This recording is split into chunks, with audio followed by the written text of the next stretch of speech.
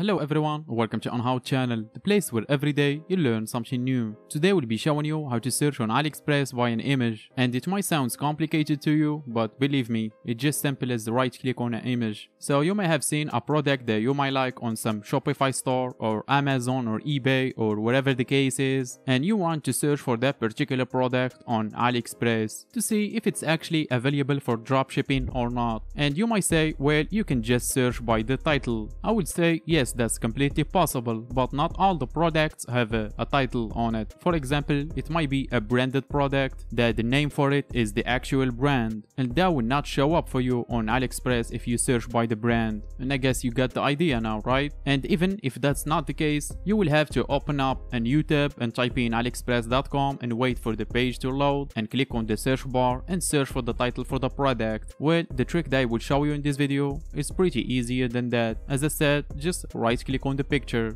and without any more talking let's get to it. So as you can see i'm accessing amazon.com right now and you might be wondering why is that because we will use it in this demonstration. We will pick a random product on amazon and we will search for the picture for that product in aliexpress. So let's just search for example for hair dryer and this is just for demonstration. Make sure to access the product page or the picture that you want to search on aliexpress for and let's just go for this one right here. As you can see, this is a simple hair dryer, but with some accessories too. So we will search for it and see if it will detect those actual accessories or not. So to do that, the first thing you're going to do is scroll down description box and you will see the link for this Chrome extension right here and make sure to install it because that's what we will use. And after you have successfully installed the Chrome extension, get back to the product page or the picture that you want to search on AliExpress for and simply right click on the picture and you will see this option. On the right click prompt it says search aliexpress by an image right here just like you see on the screen right now and simply click on it and it will open up a new tab and give it a couple of seconds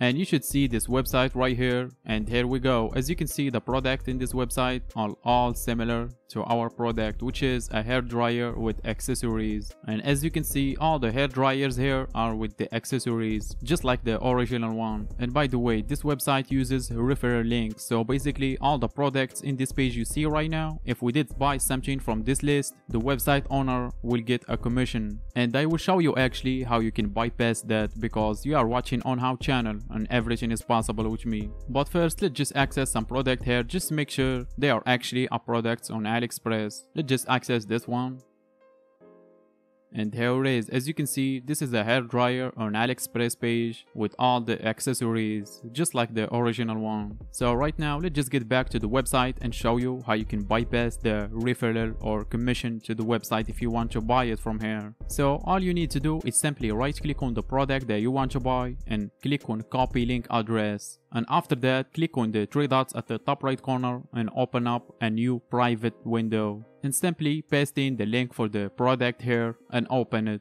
and if you are wondering why is that, because the private window blocks cookies and the tracking code. So AliExpress website cannot install cookies on your browser and track you in order to give him the commission. So that's how you search on AliExpress by an image and bypass the referral on this website. And as I said, I will put link for the Chrome extension in the description box. Otherwise, I think my job is done. I hope this video was helpful. If it was, help me out pressing that like button and make sure to join the family by hitting that subscribe button. It's completely free and if you are interested in learning new tricks and expanding your knowledge, I daily post videos on how to do stuff now. So if you are interested, make sure to join the family. Thanks for watching and catch you on next one.